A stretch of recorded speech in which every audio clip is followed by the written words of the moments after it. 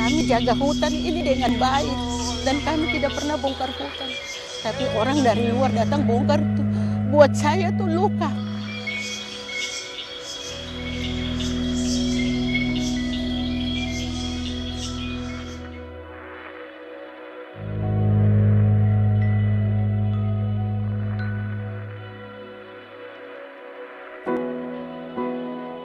Saya biasa menangis. Saya menangis, saya sedih. Kenapa saya punya hutan alam Papua yang begini indah yang Tuhan ciptakan untuk kami. A Korean company called Korindo is one of the biggest palm oil companies in this remote region. They've cleared nearly 60,000 hectares of forests on their government granted concessions, an area the size of Seoul. They deny using fire to do so, something that's illegal in Indonesia for companies to do.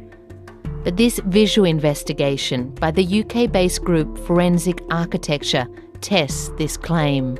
We had images and video footages that were showing fire and the smoke coming out of it, but it wasn't clear whether they were intentional or not. That was the question.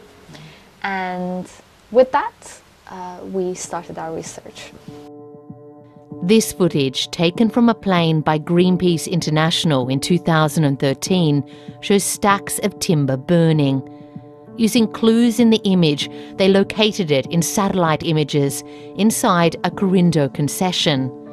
They then went back to 2011, when this area was all forest, and detected the pattern of land clearing from the satellite images. The blue is thick vegetation, red shows cleared earth. The pattern and the direction of clearing is very clear. It's moving from the central top area very clearly towards the east.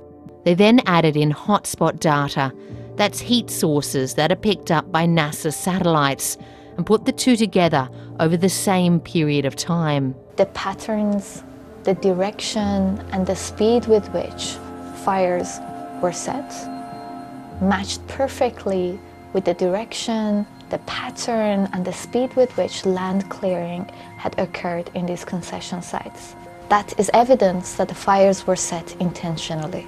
If the fires were set from outside the concession sites or um, due to weather conditions, they would have moved with a different directionality. Korindo turned down BBC's interview requests but in a statement insists that all land clearing was carried out with heavy machinery. They said there were many natural fires in the region due to extreme dryness and claim that the fires in their concessions were started by villagers to hunt giant wild rats hiding under stacks of wood.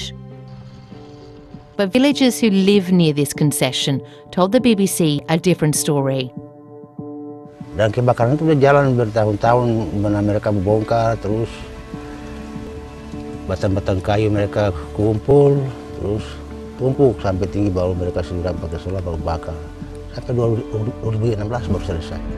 Ibu tertutup ini.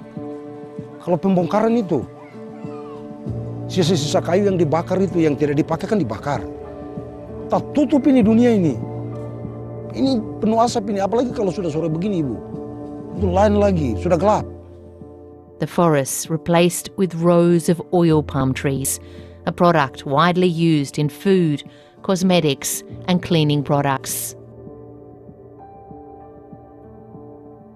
Korindo says they're bringing jobs and prosperity to the region. But there are elders who grieve what's lost. Saya selalu jalan dari divisi 1 sampai divisi 15. Saya selalu menangis. Saya bertanya di mana saya punya tete nenek moyang leluhur ini tinggal di mana. Kalau hutan saya sudah dibongkar habis. Itu yang saya alami.